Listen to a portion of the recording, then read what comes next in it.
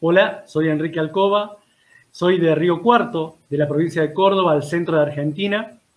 Soy director del grupo Abriendo Surcos y eh, en este momento soy director del Departamento de Arte y Cultura de la Universidad Nacional de Río Cuarto. Quiero invitarlos a una charla que, en la que vamos a referirnos a la samba, a la samba de aquí, de allá y de más allá. Espero puedan acompañarnos. Gracias.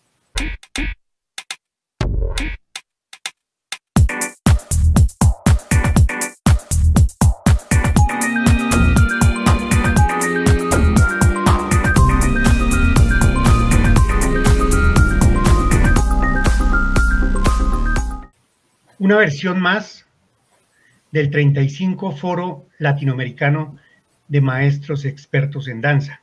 35 años, 35 invitados. Tenemos la grata presencia del maestro Enrique Alcoba de Río Cuarto, Argentina. Con él vamos a hablar de la samba, de la samba argentina, pero de la samba de, de la acá del allá y del más allá. Maestro Enrique, gusto de saludarlo. Gracias, muy contento de estar con vos y de estar pudiendo hablar de esta, de esta cuestión que tienen básicamente en el momento que me propusiste una charla sobre una danza argentina, eh, a mí me resonó esto de, la samba y, y, pensar esto de la samba de acá, de allá y de más allá, ¿por qué? Y te paso a contar. Cuando yo tenía cuatro o tres años, pasaba horas viendo bailar samba en un salón gigante, en un barrio en Banda Norte de mi ciudad. Eh, no sabía bien qué era. ¿Pero estamos hablando de, Río Cuarto o estamos hablando estamos de hablando de Río Cuarto, estamos hablando de Río Cuarto y vamos a contextualizar un poquito. Río Cuarto está al sur de la provincia de Córdoba, en el centro de Argentina, en lo que se considera la Pampa Gringa, ¿no? La, Pampa, la Pampa Gringa la Pampa Gringa, ¿por qué la Pampa Gringa? La Pampa Gringa porque eh, toda esta zona fue una zona muy significativamente apropiada eh, por la inmigración española, ah. italiana, árabe, francesa.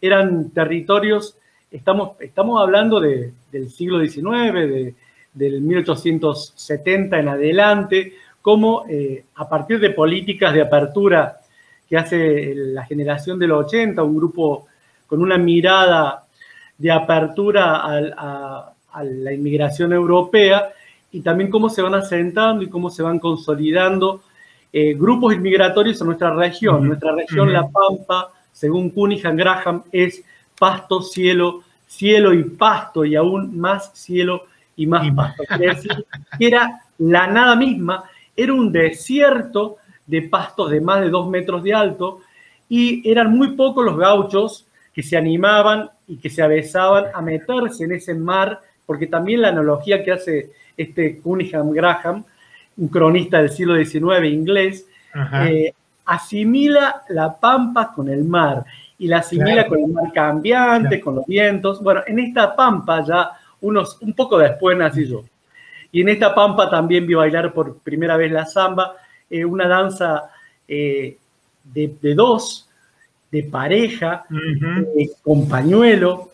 Eh, y bueno, yo lo que podía identificar con mis tres o cuatro años era esto del, juego y la emoción que, se generaba ahí, que seguramente yo percibía y por eso me quedaba sentado hora hasta que me quedaba dormido viendo bailar zambas.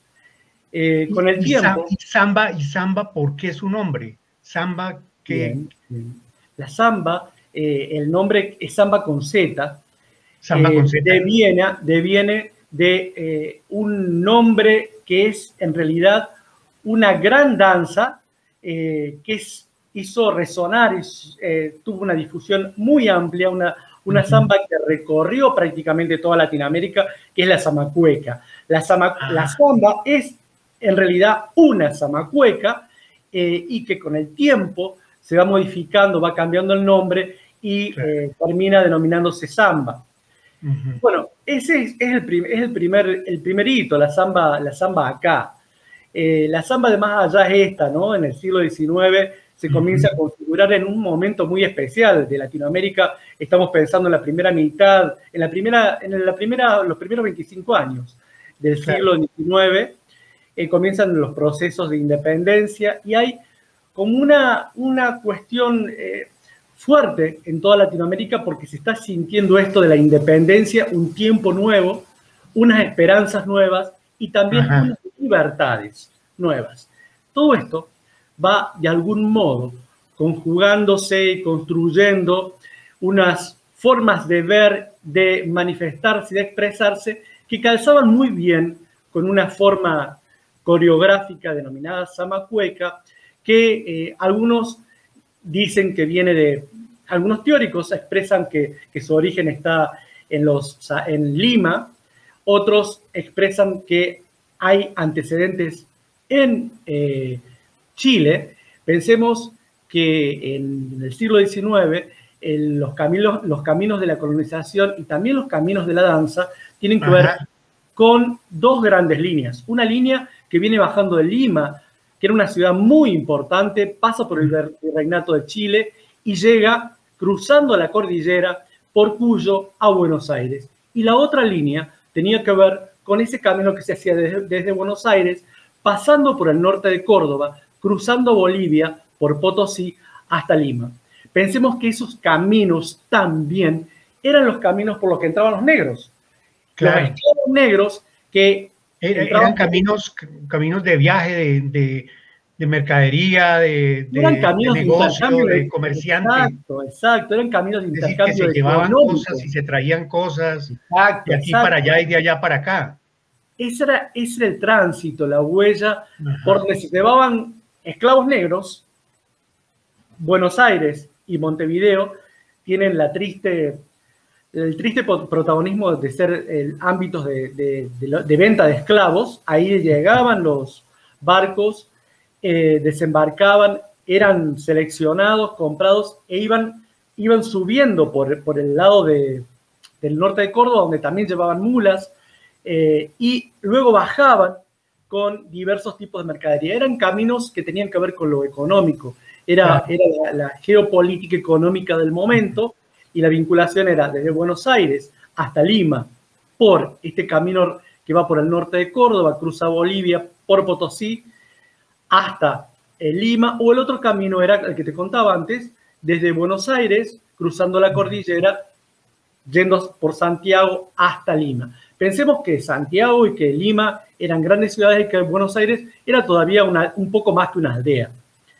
Eh, estos caminos también son caminos donde no solamente van objetos que tienen que ver con lo material, sino que también va lo inmaterial.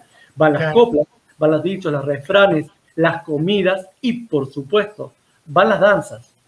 Entonces, en esta cuestión de, de ritmos, sonoridades y corporalidades que resuenan, la zamacueca tuvo como un gran protagonismo y tuvo una gran aceptación en, en todos los niveles y ámbitos, ya sea populares, de la campaña, de la ruralidad y también de las ciudades o pequeñas ciudades o aldeas. Entonces... Eh, estamos todavía, maestro, en el allá, ya, ya pasamos el acá. Estamos en el, allá del siglo, estamos en el allá del siglo XIX. En el allá. La confirmación de la zamacueca como danza que hace resonar como resonancia, ¿no? Como impacto buena parte de la América, porque no solamente se baila en Lima, eh, en los distintos ámbitos, en ámbitos populares y en ámbitos aristocráticos, sino también en Chile, también en Argentina, también en Bolivia.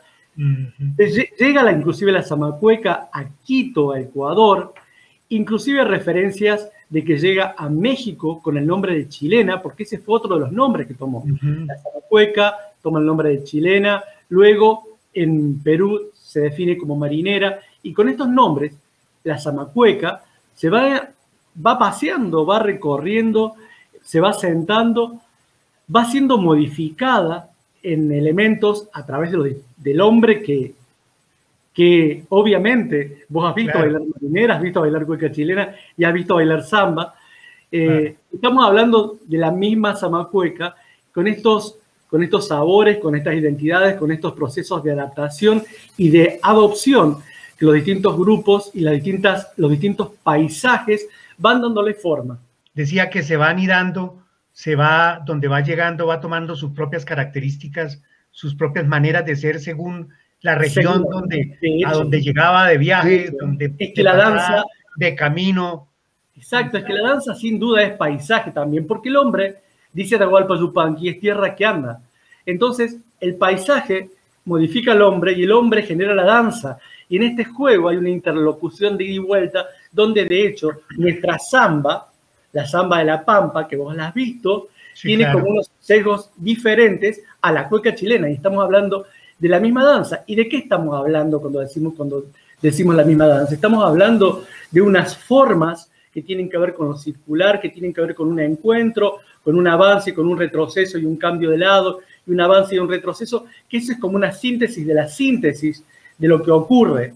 Pero de esa síntesis, en realidad, lo que no estamos diciendo es cómo juegan las corporalidades, cómo juegan las emociones, cómo juega esa relación del hombre y la mujer que a través de un pañuelo se conquistan, se dicen sin decirse desde la oralidad, sino se dicen desde el cuerpo, desde la inclinación, desde la posibilidad de acercarse o la distancia que pone, que pone ella o la posibilidad de encontrarse desde una mirada, desde un rostro que baja su mirada, todas estas sutilezas que tiene la corporalidad y que eh, van definiendo formas diferentes eh, de manifestarse en los distintos paisajes, en los distintos, en donde se va enraizando esta, esta zamacueca que luego en Argentina toma como dos grandes nombres, eh, el de la samba, que es un ritmo más lento, y el de la cueca, que es un ritmo más rápido, más vivo, y que podemos encontrar la práctica. Sigue siendo baile de pañuelo, la samba y la, sigue siendo baile. Exactamente. No solamente siguen siendo dando, siguen siendo bailes de pañuelo, sino que mantienen esta estructura de forma, de vueltas, de, de acercamiento y alejamiento, de cambio de lado, eh, que es, básicamente, si uno hiciera como un dibujo de piso eh, esquemático de lo que es eh, la samba y la cueca, encontraríamos que el dibujo de piso es igual. Ahora, cuando hacemos el análisis de lo formal, de lo rítmico, de lo, de lo grave o de lo vivo, de lo lento o de lo rápido, y vamos a encontrar, obviamente, las diferencias entre, entre ambas danzas, pero podríamos decir que son danzas hermanas. Claro en el, y en el más allá. Y en el más allá sería el siglo XXI. Me gustaría ah, hacer, el, salto. Es decir, de la eh, vigencia, la, eh, la pregunta entonces sería para entrar al más allá, con, con, decir ese más allá, es quiere decir que es una danza vigente, viva, o es una, una danza histórica, arqueológica. No, en realidad eh, la samba es una danza viva. Es una danza que la podemos encontrar en distintas provincias, la podemos encontrar eh, en distintas, distintas festividades. Por ejemplo, eh, yo hace años estuve haciendo registros del Carnaval de la Quebrada de Mahuaca y tenés oportunidad de ver bailar samba a gente que no ha pasado por la academia, sino que ha tenido ese aprendizaje eh, de, que tiene que ver con la observación, que tiene que ver con, con, pertenecer al lugar, que tiene que ser, que tiene que ver con, con la propia identidad eh, donde no ha, no ha habido, no ha pasado por la, por la academia, pero también es interesante lo que pasa con la samba en las grandes ciudades, porque en las grandes ciudades, debido a las migraciones y debido a, esto de que los jóvenes van a estudiar, van a las universidades eh, y salen de un lugar y van a, van a ámbitos más grandes, de pronto en, ámbitos que acá llamamos peñas, que son espacios de encuentro para escuchar música folclórica y demás, aparece la samba y hay gran cantidad de, jóvenes que tienen su forma de bailar la samba eh, de una, forma más espontánea o una forma académica, porque también la samba ha pasado eh, y ha sido, ha sido enseñada en escuelas de danza, en academias, eh, tomando una, una estructura, una norma eh, pero para mi gusto, una de las cuestiones interesantes que tiene la, la samba y que por eso elegí además la samba, que planteé en el, en el inicio de la samba como este recuerdo de, de infancia, también la samba tiene esta posibilidad de infinitas formas en su simpleza, infinitos modos de bailarlo y que tienen que ver con la persona con la que estás bailando, que tienen que ver con el estado anímico, que tiene que ver con el ritmo de la samba, que tiene que ver con el acontecimiento, que tiene que ver con el lugar Y esto lo ves también en, en diferentes paisajes, también con diferentes acentuaciones. Eh, y eh, este juego que te, que te, posibilita creativamente la samba hace que cada vez que bailes sea única, sea diferente. Porque es si repetible. Exacto. Es repetible, es, efímera. Es decir, lo que se hizo, lo que se hizo no se repite, sino que se hace de otra manera. Exacto. Así sea la misma, la misma tonada, la misma canción, la misma música Y, y, la misma pareja y el mismo sitio. Es decir, que uno en, una noche de fiesta, de rumba, de jarana, baila muchas zambas. No la baila más samba. Podés bailar, podés bailar muchas zambas y, o mezcladas con otras danzas.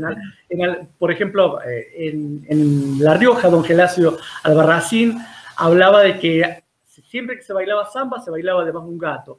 Pero el tema es este, tal cual vos lo decís. El tema de la samba, y si la bailas con la misma persona, ya ha habido una samba previa ya no va a ser igual, porque en, la samba uno de alguna manera se va, se va conociendo y se va sacando las máscaras. Si la bailas desde adentro, desde la cosa visceral, te vas sacando las máscaras sociales que te pones para, para, hacer, para instituirte como, como ser social y para, de algún modo, eh, convivir en una estructura en la que te ha tocado. Entonces, esta posibilidad de, de ser genuino, esta posibilidad de develarte en, la danza, develarte al otro, pero también develarte a vos, porque vos te vas encontrando en cuestiones que no sabías que tenías. Y van apareciendo cosas en el manejo del pañuelo, en el encuentro con el otro, en infinidad de posibilidades. Y por eso me parecía interesante esto de, la, de zambar, ¿no? Zambar con el otro y lo que implica. Implica un descubrimiento para el otro y también para vos y para los que te rodean, ¿no? De algún modo ese juego. Como poniendo un ejemplo, en la marinera norteña peruana, se ha, se, ha vuelto de tanta competencia, de tan, de tan transformada. ¿Eso mismo no le ha pasado a la samba en Argentina? Sí. Hay grandes concursos y hay grandes campeones, como en, la marinera, son campeones de marinera. No, llegamos, no llegamos eh, creo, creo, que no llegamos a lo que pasa en Trujillo, en, la marinera norteña. Pero sí hay campeonatos de samba eh, y por supuesto está esta superestructura y hay toda una serie de tecnología puesta en favor de un, de, un detalle, una, un desarrollo corporal en torno a la samba. Sí, eso también existe porque existen como distintas, yo me, estoy yendo por un lado que es el lado eh, que en realidad resuena más con mí, en mí, pero todo esto también existe, es parte, y es parte de la vigencia y es parte de, una, mirada que transversaliza eh, un, conocimiento, un saber y también una forma de interpretar la samba. Son dos caminos. Me imagino que pasa como con la cumbia colombiana, la cumbia tradicional nuestra, que los grandes ballets folclóricos, algunos ballets folclóricos, bailan la cumbia o bailaban o han bailado la cumbia con velos transparentes donde se ven la ropa eh, interna de, la, mujer, ¿ya? Y eso ha causado eh, o causó en cierta época toda una discusión, pero uno iba a la fiesta popular y la gente seguía haciendo la cumbia como era así en los grandes teatros y en las grandes ciudades, se desbarataran transformándola y estilizándola eh, esa misma cumbia. Eh, eh, esos dos caminos, esas dos realidades en los territorios existen. Me imagino que es igual lo, que pasa con la samba. Pasa exactamente lo mismo, ¿sí? Ocurre exactamente lo mismo. Podéis ir a una, a una fiesta, yo he tenido oportunidad de estar en un evento muy importante acá que eh, se hace en Santiago del Estero, que es la fiesta de los abuelos de, la abuela de los Carabajal.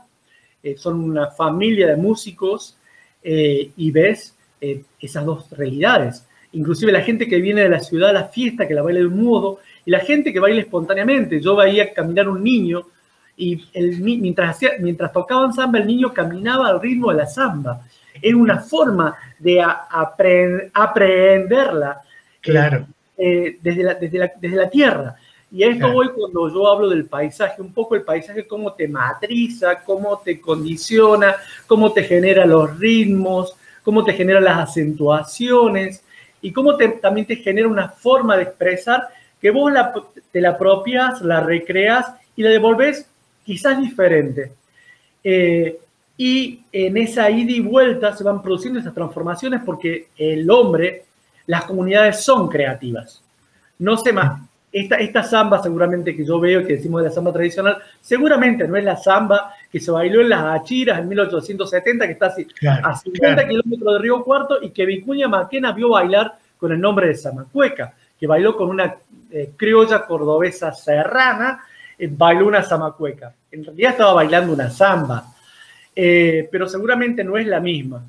No es la misma porque la danza misma va haciendo un proceso de adaptación a los nuevos tiempos.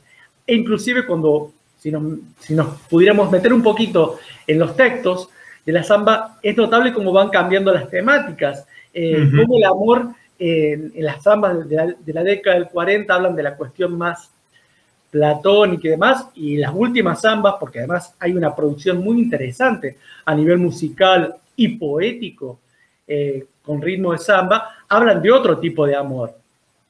Un, más carnal, más real, más, digamos, eh, hablando desde, otros lugares del amor. Eh, y, además la samba, la temática de la samba ha ido entrando en distintas cuestiones. Eh, por supuesto, en el tema del paisaje, en el tema de los personajes, en el tema de las, de las guerras de la independencia, de las guerras entre, entre los, los distintos facciones unitarias y federales en nuestro país allá por el siglo XIX, pero también en, el, plantear, dejen jugar los niños, hablar del tema de la, de la falta de juego, eh, ¿por qué no? Eh, esta, sociedad en la que estamos, estamos inmersos eh, plantea la cosa tan direccional que ya los niños no pueden, ya no juegan. Entonces hay una serie de cuestiones que tienen que ver con la realidad, que tienen que ver con el siglo XXI, que la samba, esa samacueca del 19, plantea en el más allá, que es el hoy, eh, de manera fuerte, de manera fehaciente, y por eso sigue viva. Si no, sería una, si no estaríamos hablando de algo que está muerto. Aquí nos podríamos o podríamos seguir conversando largo rato más con el maestro Enrique Alcoba de Río Cuarto, Argentina. Y podemos hacerlo. Los invitamos a los que nos siguen, a todas las personas que nos ven y nos escuchan, eh, a seguir conversando con él. Aparece en los créditos eh, su correo electrónico donde ustedes podrán eh, al maestro Enrique Alcoba seguirle preguntando sobre la samba y sobre otras danzas de la Argentina y de América Latina. esto es el 35 Foro Latinoamericano de Maestros Expertos en Danza. ustedes encontrarán este y, y, otros videos del 35 Foro en danza.co la plataforma nuestra, la comunidad de la danza que dirige el maestro Mario Alejandro Monroy. Gracias, maestro Enrique.